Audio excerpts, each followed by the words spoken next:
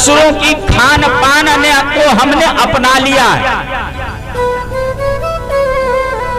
असुरों की व्यवहार हम करने लगे हैं।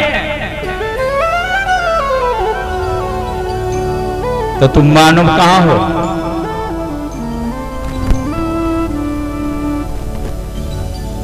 तुम मनुष्य नहीं हो।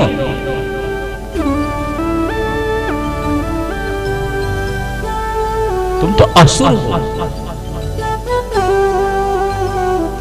तुम्हारा हर वस्तु, हर व्यवहार, हर धर्म, हर कार्य असुरों वाली जब तुम्हारा है तो तुम मानव नहीं हो, तुम दानव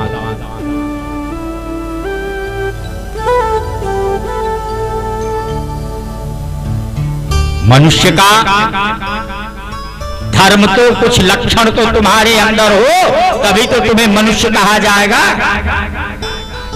जब सारी लक्षण असुरों वाली है दानवों वाली है तो, मानव हुए कहाँ से?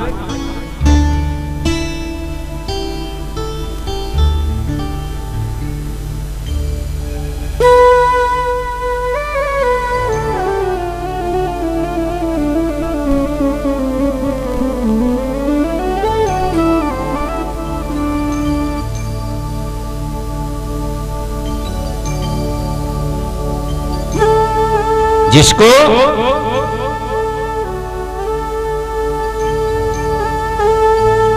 अंतकरण शुद्ध हो जाए, पवित्र हो जाए।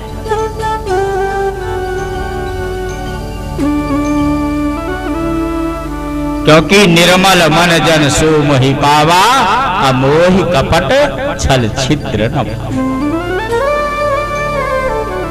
जिसका मन निर्मल है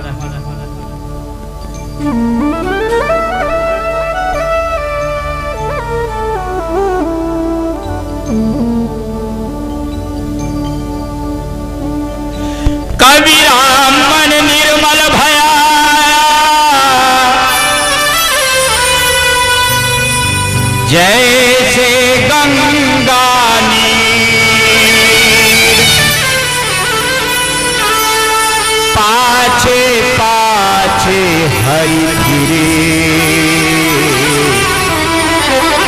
कहत कबीर कबीर। पाछे पाछे हरि कहत कबीर कबीर। तो भगवान तो उसी के पीछे पीछे बोलते हैं जिसका मन शुद्ध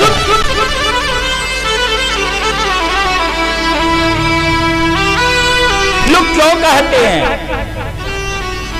अरे, ये जो बच्चा है ना, ये भगवत रूप है। क्यों? क्योंकि बच्चा का अंतःकरण पवित्र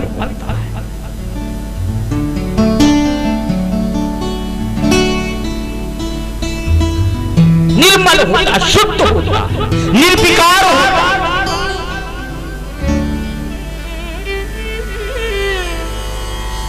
किसी प्रकार का कोई विकार नहीं होता। कोई गंदगी नहीं होती। कोई उसका अपना पराया नहीं होता कोई शत्रु मित्र नहीं होते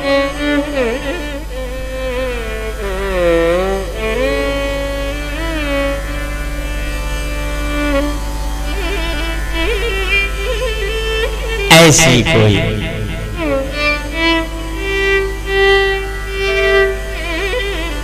जैसे निर्मल पवित्र मन वाला जो पुरुष है।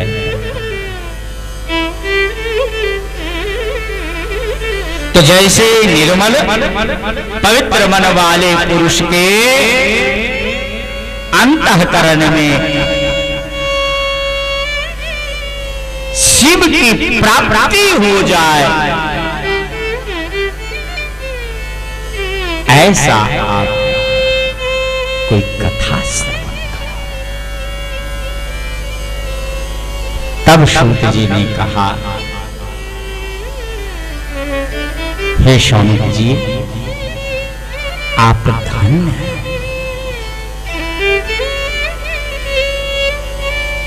धन्योस्मी कृत कृत्योस्मी एक बात आप जरा ध्यान देना। अगर प्रश्न करता, उत्तम प्रश्न करता है ना?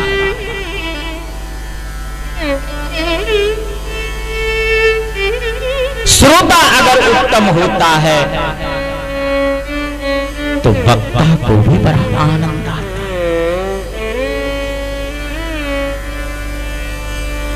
वक्ता भी सोचता है, अपने अंतकरण से सब कुछ निकाल करके इसे दे से अगर शिष्य कोई उत्तम प्रश्न करता, श्रेष्ठ प्रश्न करता तो गुरु चाहता कि सब कुछ पूरा ज्ञान भीतर से अंतकरण से निकाल करके शिष्य को दे दे। जिस समय सुखदेव जी से राजा परीक्षित ने प्रश्न किए पुरुष कार्य मानस सर्वता तो उस समय भगवान सुखदेव, भागवत में आया कि भगवान सुखदेव ने राजा परीक्षित जी कहे बरियान के प्रश्न, कृतो लोकहितम नृप।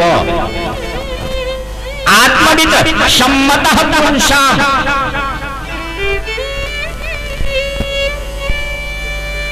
हे राजा, तुमने श्रेष्ठ प्रश्न किया है लोक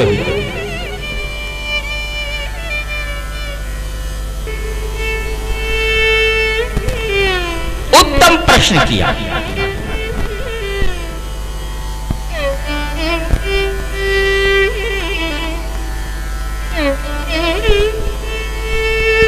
ऋषि,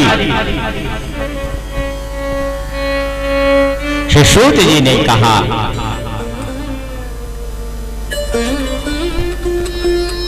आपके अंतकरण में।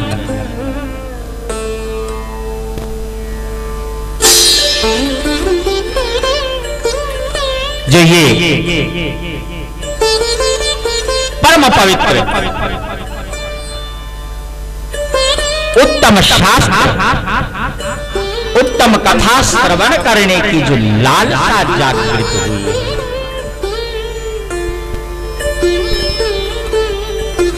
इसे देख करके। हे शौनक जी मैं आपको भक्ति ज्ञान और वैराग्य से परिपूर्ण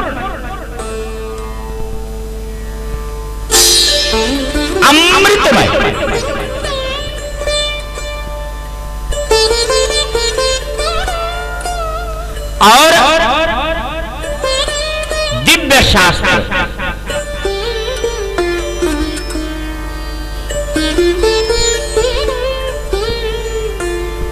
जिसका नाम शिव पुराण जिस शिव पुराण का वर्णन भगवान शिव ने स्वयं किया।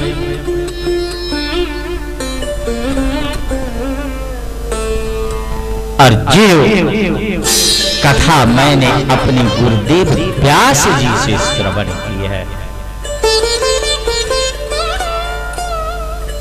उस शिव पुराण की कथा मैं आपको श्रवण करा रहा हूँ। इसलिए सावधान तया सुनो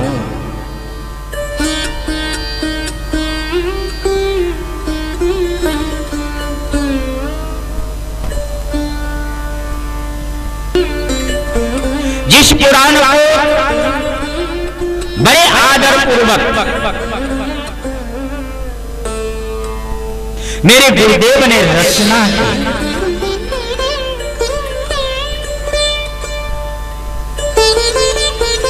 जो कलिकाल में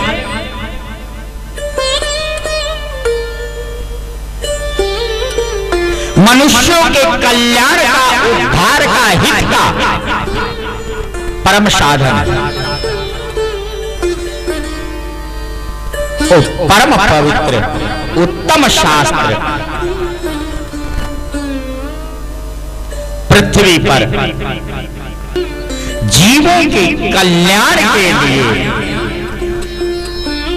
भगवान शिव की प्राप्ति के लिए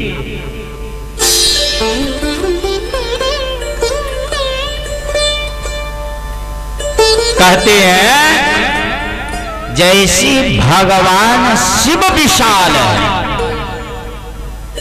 ऐसे ही इसे भी विशाल स्वरूप समझना चाहिए। जिसे पढ़ना, सुनना सर्व साधन है। जो समस्त कामनाओं की पूर्ति करता है, अब मनोवांछित फल को देने वाला है और आदि व्याधियों को निवृत्त करने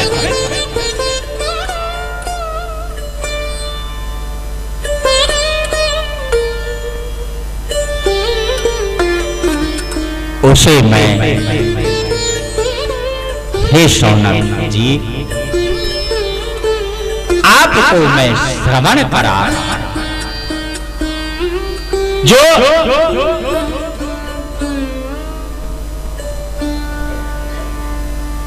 शिवलोक को प्राप्त कराता है और भगवान शिव के समीप पहुँचा शौनकादि ऋषियों ने कहा, महाराज एक बार आप कृपा करके ये मुझे बताओ।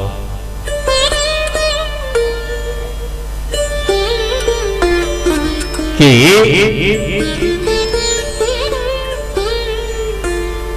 इसको श्रवण करके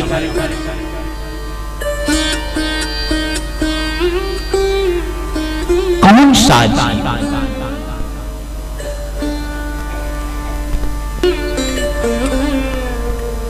समस्त पापों से निवृत्त।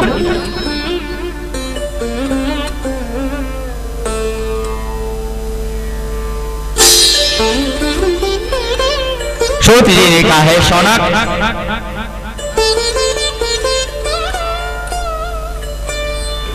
इसी विषय में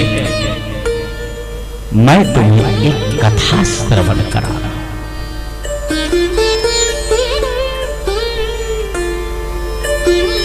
किरातों के नगर में।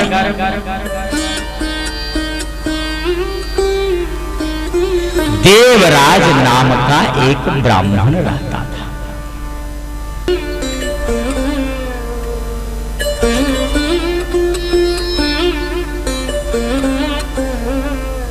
वह ज्ञान में दुर्बल, गरीब, रस बेचने वाला वैदिक धर्म से विमुख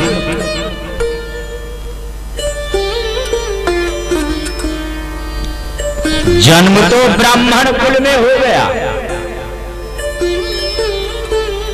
लेकिन न नहाना न धोना न पूजा न पाठ।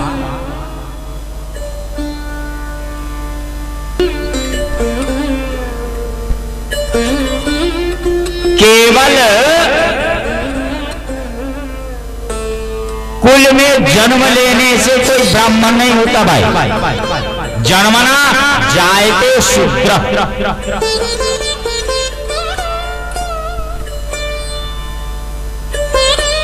हमारा कर्म ही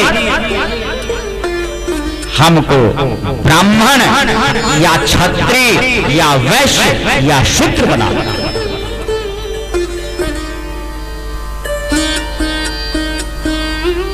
ब्राह्मण अगर अपने कर्म को, धर्म को छोड़ दिया है।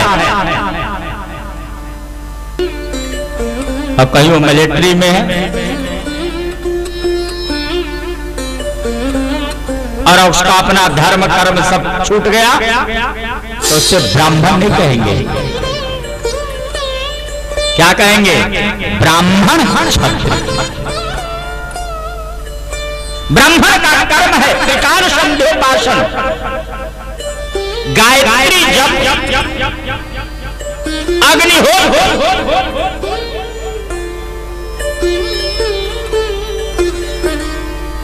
अगर ये हम नहीं करते तो ब्राह्मण कहलाने के अधिकारी नहीं है।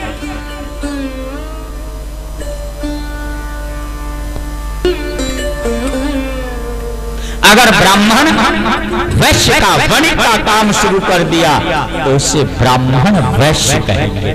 ब्राह्मण नहीं।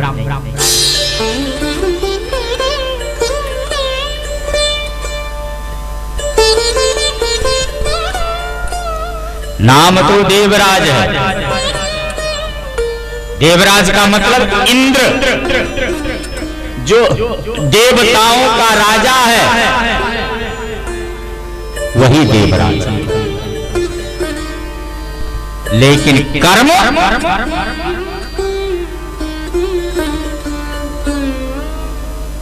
न पूजा, न पाठ सुबेरे उठा। अरे, भगवान ने तुम्हें इतना बढ़िया जीवन दिए हैं, इतना बढ़िया स्वरूप दिया है, इतना बढ़िया शरीर दिया मनुष्य का। कुछ करने के लिए। करने का मतलब केवल मुठ कमाने के लिए नहीं।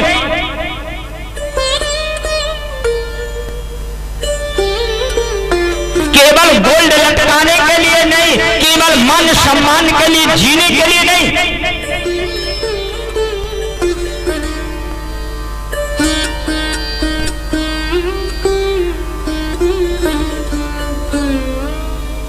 कब बर करुणा नर दे दे ईश बिनु हेतु सभी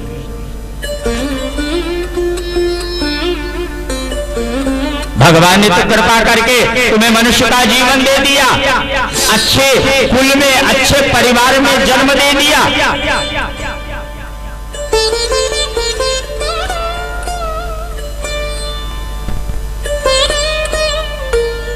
न सुबेरे उठना। ना स्नान करना। एक बात ध्यान देना।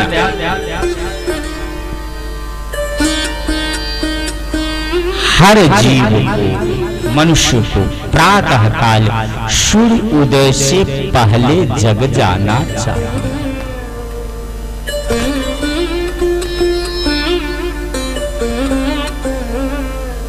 शास्त्र कहता है कि जो व्यक्ति सूर्य उदय के पश्चात जगता है। उसका कभी भी उदर पेट ठीक नहीं रहता। क्योंकि भगवान सूर्य जल को सोख के आयु क्षीण होता उस। व्यक्ति प्रातः काल सूर्य उदय से पहले उठो। सूर्य उदय से पहले स्नान करो। शास्त्र में चार स्नान बनाया। बताया।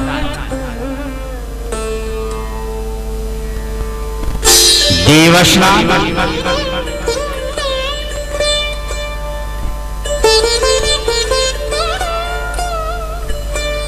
मंगल स्नान।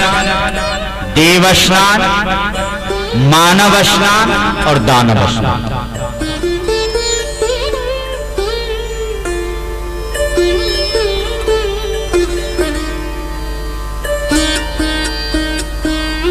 प्रातःकालीन चार से पाँच के बीच में जो करते हैं। ये देवश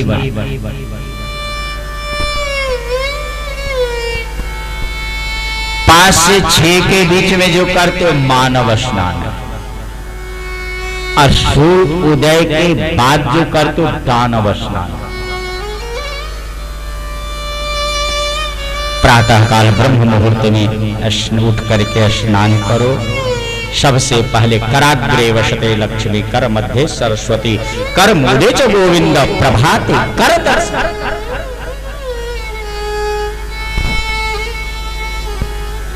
अपने हाथों को, रेखाओं को देखते हुए भगवान का स्मरण करो।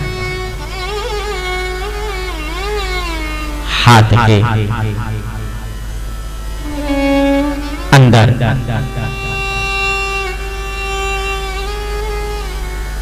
लक्ष्मी भी है, सरस्वती भी गोविंद भी इसका ध्यान करके से प्रणाम करो, फिर पृथ्वी माता को प्रणाम करो। समुद्र वसने देवी।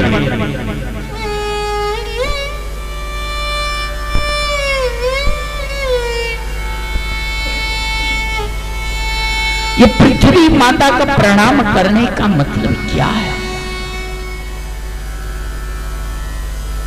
ये पृथ्वी भगवान नारायण की पत्नी भूदेवी। दो पत्नी है ना? एक भूदेवी और एक श्रीदेवी। श्रीदेवी ये फिल्मी वाली नहीं।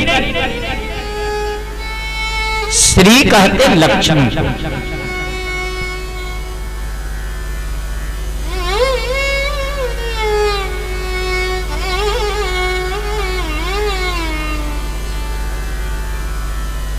दामोदर कुंड के लिए जाओगे तो भगवान दामोदर के दोनों बगल में एक भूदेवी एक तरफ़ और एक देव तरफ़ श्री देवी।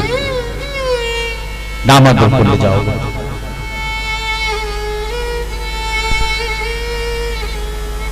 ये भगवान नारायण की पत्नी है। और हमारी माँ। क्योंकि नारायण पिता है।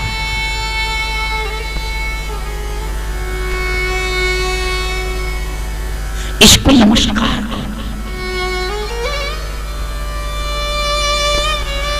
माँ, मैं कर्म करने के लिए इस संसार में अब तत्पर हो रहा हूँ। आपके गोद में मैं अपने पैर को रख करके कर्म करने के लिए जा रहा हूँ। हमसे कोई अपराध हो।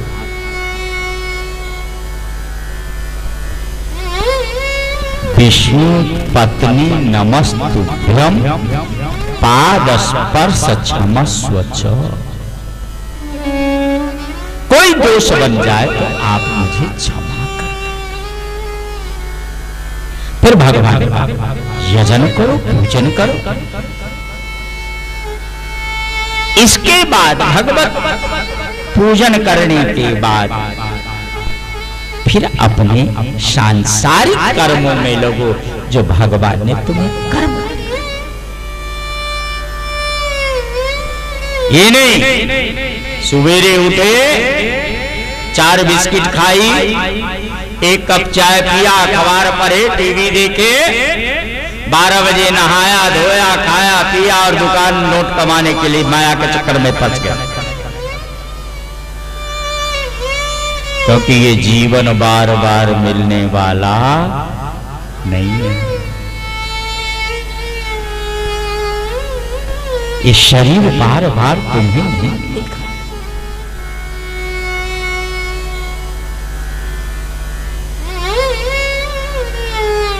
शिव का ध्यान करो शिव का पूजन करो। शिव तत्व का स्मरण करो।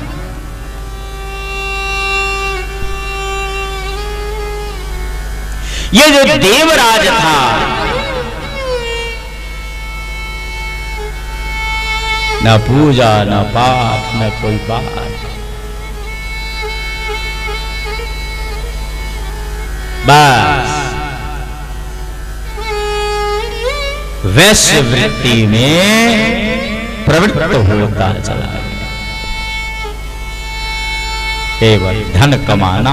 अब धन कैसे भी मिले?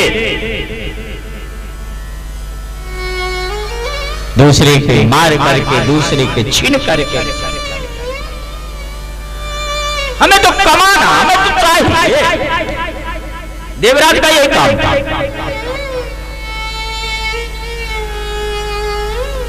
राज़ी राज़ी नहीं तो गैर राज़ी।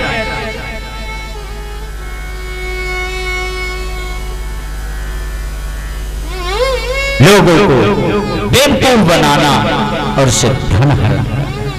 मारना, धन छीन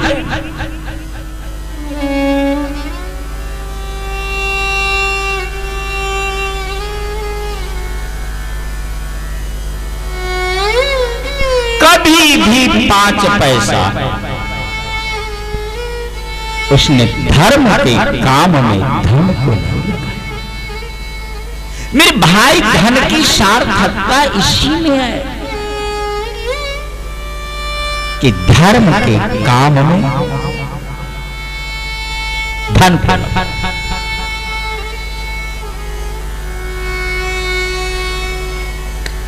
दो ही गति है।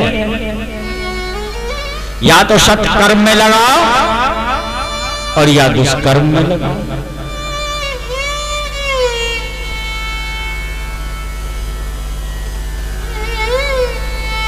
लेकिन देवराज ने कभी भी शतकर्म में पाँच पैसा नहीं लगाया। बस उसका काम था दूसरे से धन हरण करना, मारपीट करके सुरा सुंदरी का सेवन करना। आचार भ्रष्ट।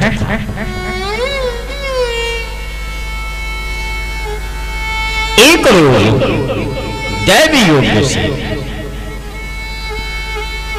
ओ, घूमते घूमते, झूसी प्रयागराज इस झूसी का नाम था पहले प्रतिष्ठानपुर वहाँ पहुँच गया।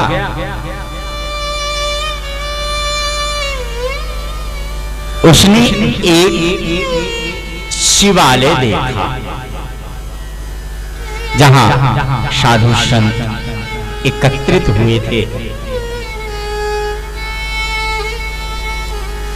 और वो वहीं पर उस शिवालय में रुक गया दो चार दिन रुका दो चार दिन रुकने के बाद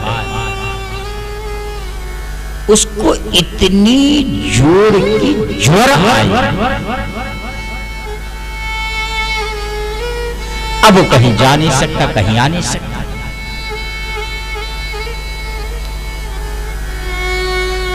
तो ज्वर के पीड़ा से व्यथित होकर के वहीं पर आ और वहाँ एक ब्राह्मण शिव पुराण की कथा सुना रहे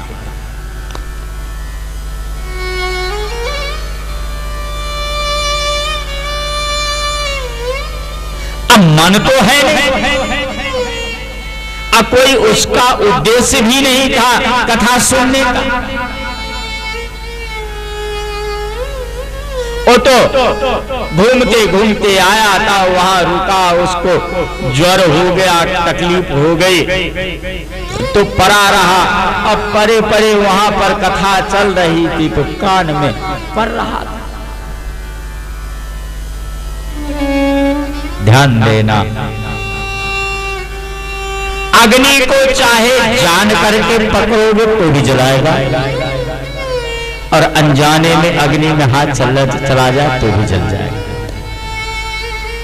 भाव कुभाव अनक आलस। चाहे मन से सुनो और चाहे बेमन से सुनो।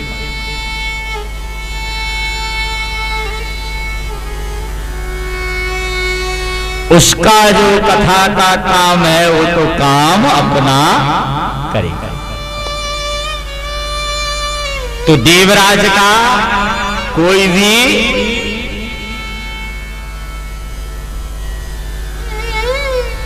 इच्छा तो थी नहीं। श्रवण करने का, और इसलिए गया भी नहीं था। वो तो गया था। ज्वर आ गई, पीड़ा हो गया शरीर में तो पड़ा रहा कान में। शिव पुराण की कथा पढ़ते रहे। कोई मन नहीं, कोई उद्देश्य कथा श्रवण करने का नहीं। अब परे परे सुन रहा है तो एक मास बाद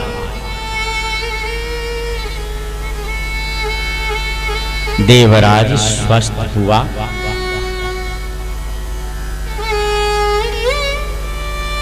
और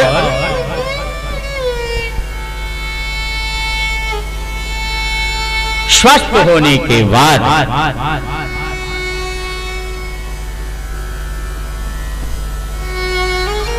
फिर उसको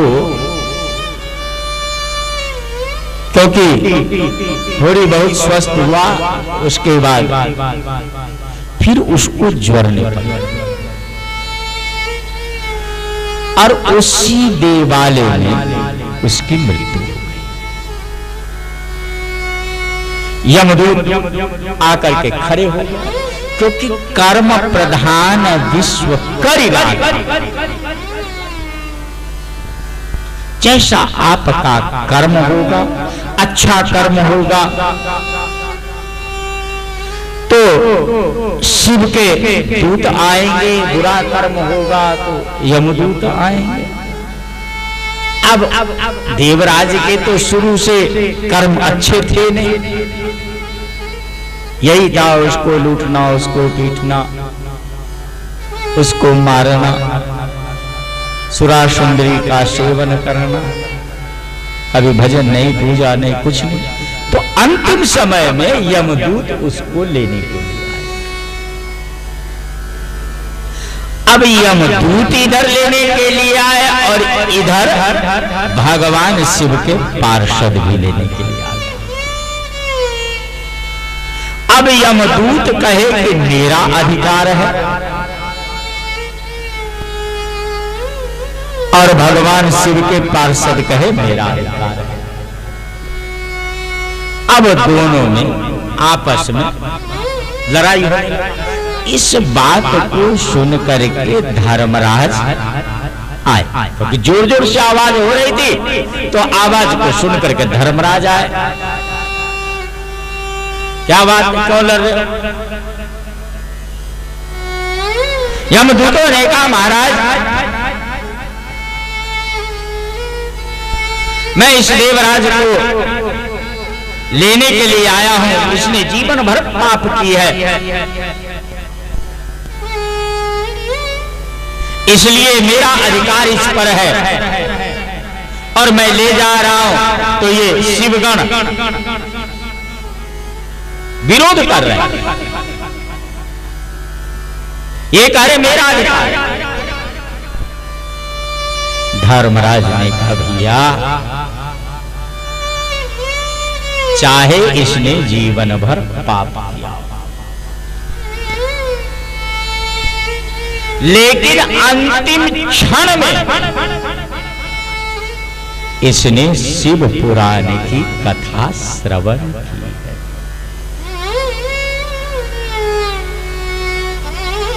अंतिम क्षण में शिव पुराण की कथा श्रवण करने के कारण इसके जितने पाप थे।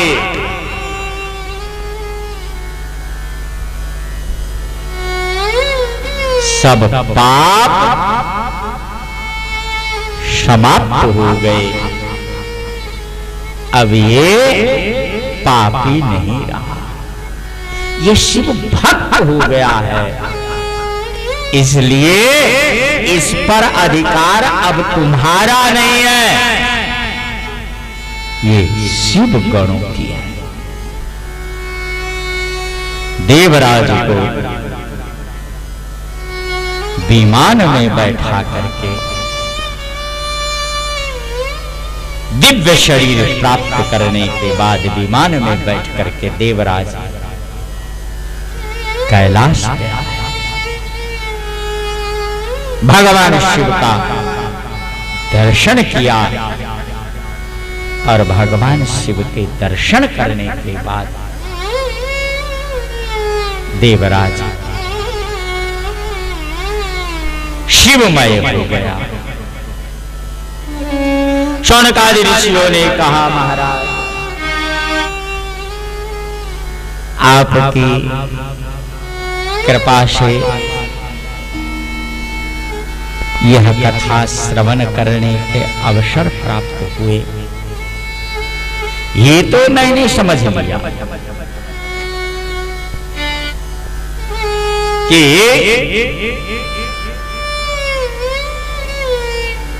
शिव पुराण को श्रवण करके देवराज भगवान शिव लोक को प्राप्त किया, भगवान शिव को प्राप्त किया। क्या और किसी पापियों का, पतितों का भी उद्धार हुआ है? इस कथा को श्रवण करके। आप कृपा करके मुझे बताने की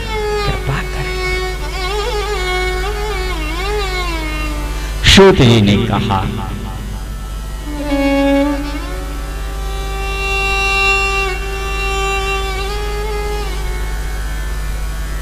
हे शौनक जी,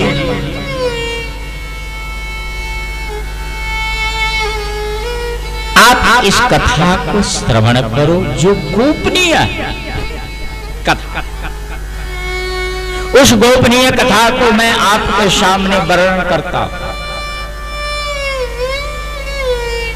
क्योंकि आप शिव के परम भक्त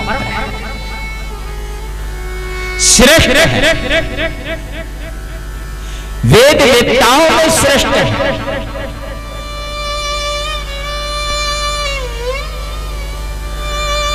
एक समुद्र के निकटवर्ती प्रदेश में वाशकल नामक गाँव था। जहाँ वैदिक धर्म से विमुख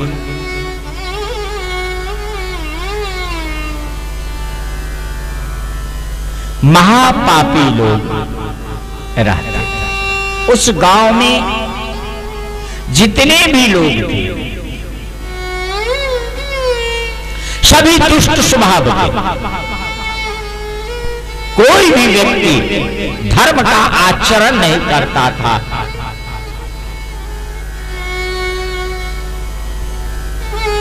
हर लोग, हर व्यक्ति पाप के ही आचरण कर रहे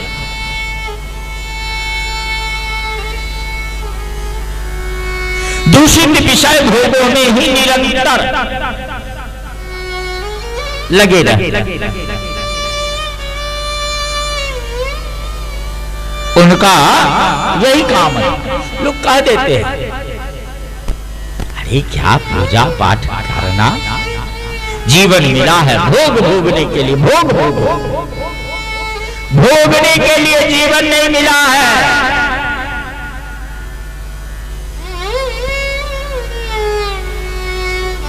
एक बार किसी ने विशेष से कहा, मैं तुम्हें भोगता हूँ। विषय ने कहा, तुम क्या मुझे भोगेगा? भयम न भोगता वय तू क्या मुझे भोगेगा? मैं तुम्हें भोगता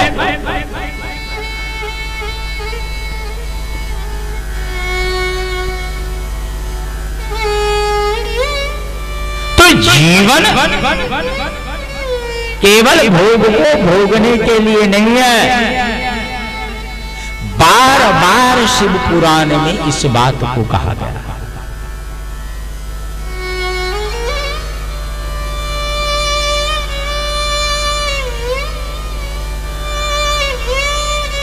केवल खाना पीना, मौज मस्ती करना, विषय का भोग करना,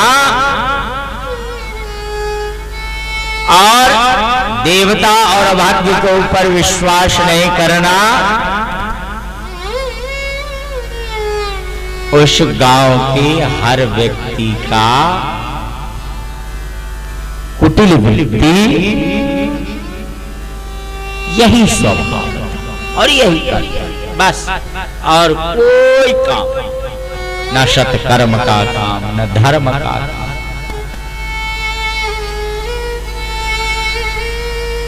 उसी गाँव में। बिंदुक नाम का एक ब्राह्मण रहता।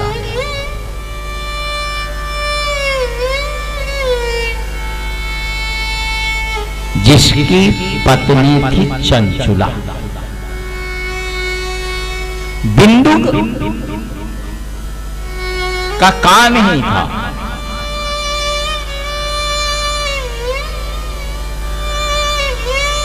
खाना पीना और वेश्यागमन कर।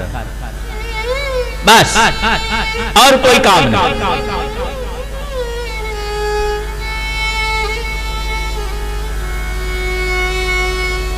चंचला सुंदरी नव यौवना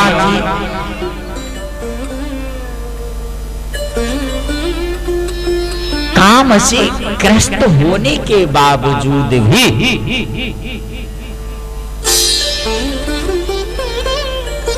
अपने ऊपर नियंत्रण करके रख।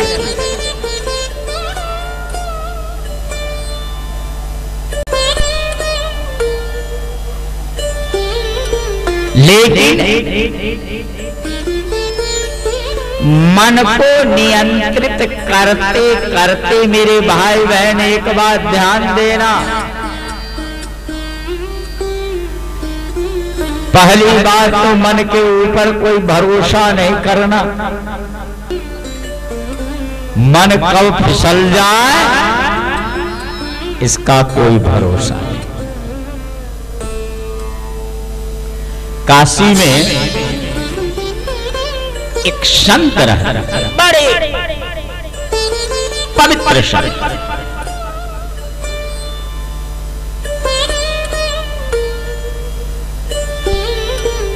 प्रातः काल उनका नियम था चार बजे।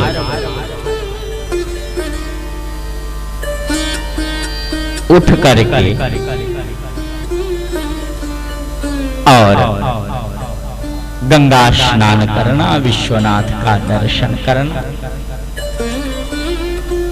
ये उनके जीवन का नियम था।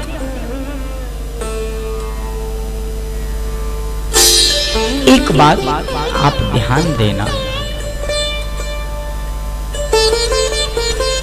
हमारे जीवन में एक नियम अवश्य होना चाहिए। जिसके जीवन में नियम नहीं, संयम नहीं, उसका जीवन जीवन नहीं है।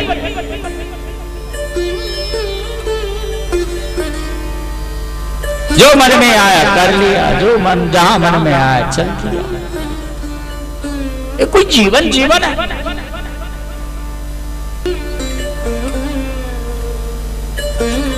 हमारे जीवन में नियम ज़रूर संयम ज़रूर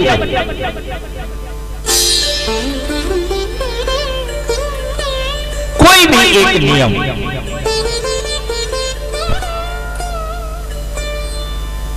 हमें मंदिर जाना है तो जाना भगवान की पूजा करनी है तो करनी ये नहीं जो कि चार दिन किया दो दिन छोड़ दी छो फिर चार दिन की फिर दो दिन छोड़ दी। लोग भगवान को तो रखते हैं। लेकिन कभी कभी अरे भाई, आज तुम ही सेवा कर लो। बस हो गए। चाहे कुछ भी हो, हमारा एक नियम है। हमारे जीवन में ये नियम टूटने न पाए। ये नियम छूटने न पाए।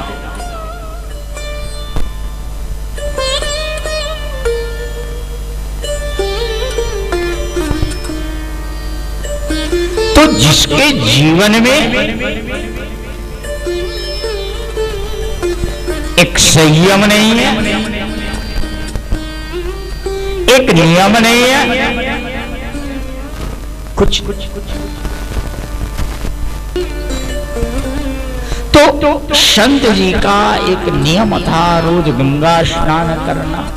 विश्वनाथ का दर्शन करना, फिर जल चढ़ाने के पश्चात विश्वनाथ को फिर कोई काम काम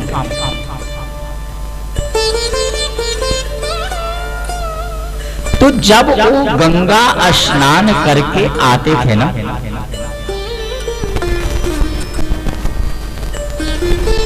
तो रोज एक वेश्या उनको मिलती थी।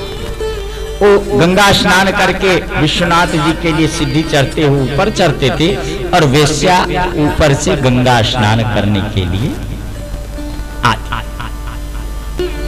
और रोज टकराती वेश्या उस संत से और रोज पूछती, महाराज, कच्चा या पक्का? स्वामी जी, कोई भी जवाब नहीं। रोज का नियम वेश्या का मिलना और वेश्या का यही प्रश्न। लेकिन स्वामी जी कभी उत्तर नहीं दे पाए। देते बस चुपचाप वो बोलती वो सुनते हुए ऊपर चढ़ जाते, अपना जा करके विश्वनाथ जी का पूजा पाठ करके, अभिषेक करके, फिर अपने आश्रम में आ जाते। धीरे धीरे ऐसे ही समय व्यतीत होता गया। जब संत का अंतिम क्षण हुआ, मृत्यु का।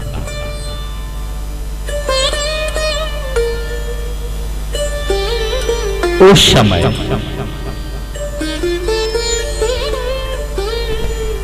अपने शिष्यों से कहा कि भैया उस बेस्या को भुला के लिया शिष्यों ने कहा रे राम राम राम गुरु जी की बुद्धि भ्रष्ट हो गई। अरे अंतिम समय में भगवान का दर्शन नहीं, कोई बात नहीं। ये कहते कि भैया, विश्वनाथ जी की तस्वीर रख दो या गोपाल जी का तस्वीर रख दो, दर्शन करा दो। ये सब कुछ नहीं, और कह रहे कि वेश्या का जीवन भर, साधु वेश का लेकर के और विश्वनाथ के दर्शन करते रहे, गंगा स्नान करते रहे। अब आज अंतिम क्षण आया है। तो क्या बुद्धि भ्रष्ट हो गया गुरु जी का कि कह रहे कि वेश्या को बुला के ले आओ? लेकिन अब गुरु जी का आदेश था तो क्या करें? गए? बुला करके लाए। वेश्या सामने खड़ी। संत ने कहा, बेटी, तू मुझसे रोज पूछती थी।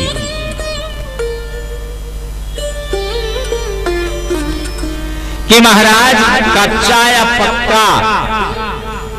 मैं गंगा स्नान करके विश्वनाथ जी जब जाता था तो तू मुझसे रोज पूछती थी और मैं तुम्हारे प्रश्न का उत्तर नहीं दे पाता।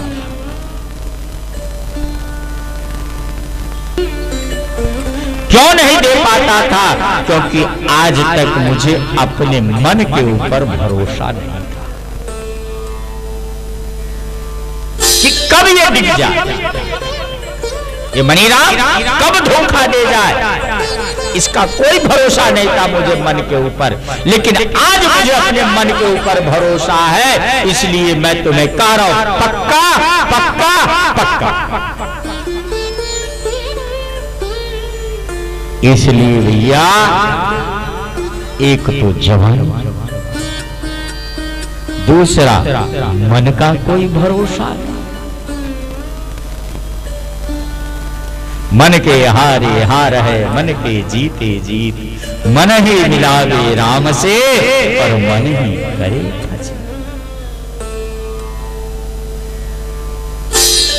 मन के बहुते रंग है क्षण क्षण बदले सोए एक रंग में जो रहे, ऐसा तो मन का कोई भरोसा नहीं। ये मनीराम, कब गड्ढा में डाल दे, कोई भरोसा नहीं है। तो एक तो यौवनावस्था, चंचुला का दूसरा काम का वेग। पैर। फिसल गई एक जार से आँख लड़ गया।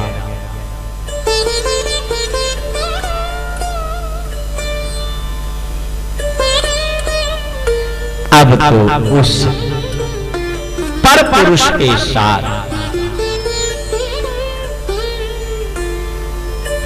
छुप छुप अपने पति बिंदु से ध्यान देना।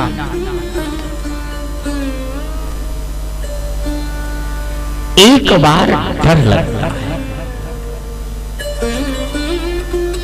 किसी दुष्कर्म को करने, पाप को करने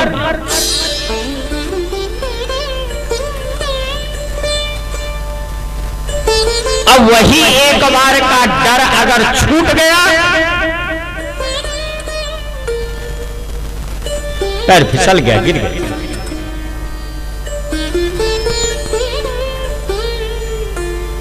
कोई देख न ले, किसी को पता न लग जाए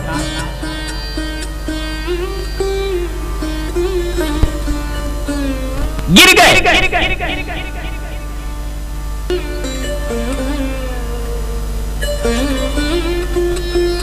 चंचला। पहले भयभीत रही, लेकिन धीरे धीरे करके वो पर पुरुष के साथ अपना संबंध एक रोज बिंदु ने चंचुला को पर पुरुष के साथ देख।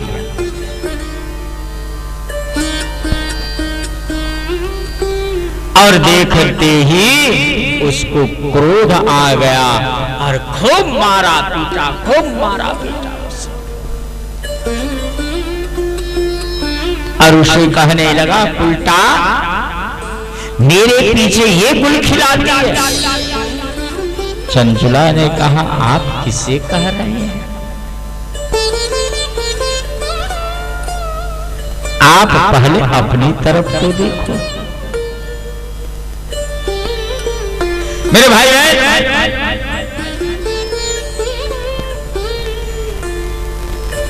हमारे मुँह में अपने मुख के ऊपर लगी हुई कालिक किसी को दिखाई नहीं देता। सामने वाले की कालिक अवश्य दिखाई दे देती है।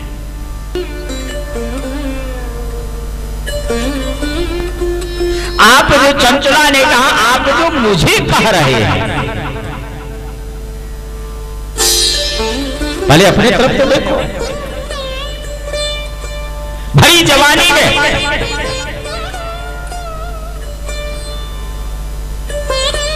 आपने मुझे त्याग दिया। मैं अपने ऊपर काम के आवेग को कितनी नियंत्रण करती रही। लेकिन क्या करूँ?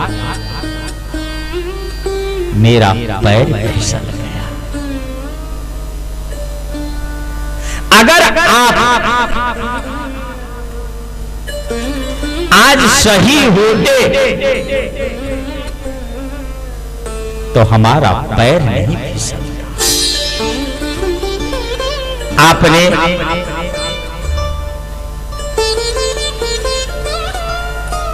गलत रास्ता को अपना लिया तो मैं क्या करूँ? मेरी तो मेरी भी भरी हुई जवानी थी, काम के वेग ने मुझे घर्षित कर लिया और मैं भी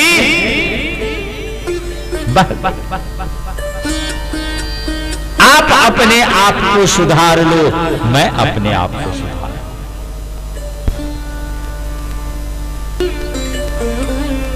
आप गलत रास्ते को छोड़ दो।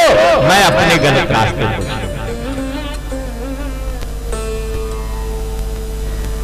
बिंदु ने कहा ठीक है। तू जिस रास्ते पे चल रही है। कोई बात चलो। लेकिन जिस जार के साथ तुमने यारी की है ना? वो बड़ा धनवान है। उसे धन लेती रहो और मुझे देती रहो, क्योंकि मुझे आवश्यकता होती है विश्या को देती अब दोनों स्वतंत्र हो गए। वो भी चार पुरुष के साथ लगी रही, पर पुरुष के साथ लगे रही। बिंदु भी वेश्याओं के साथ लगा रहा। धीरे धीरे समय व्यतीत हुआ। और एक बिंदु की मृत्यु।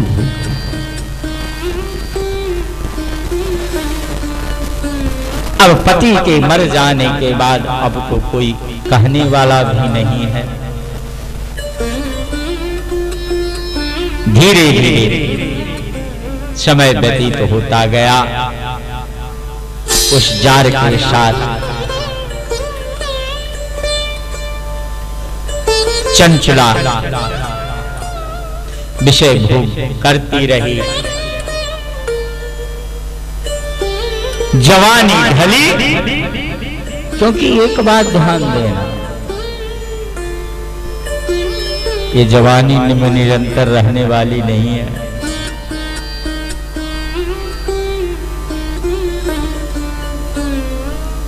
एक रोज एक माता दर्पण में देख करके मुख को और रोने लगी। बच्चों ने पूछा, माँ, क्यों रो रही है? क्या कष्ट है? क्या पीड़ा है?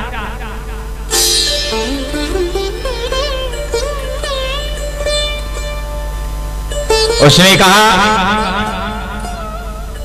बेटा, मैं रो इसलिए रही हूँ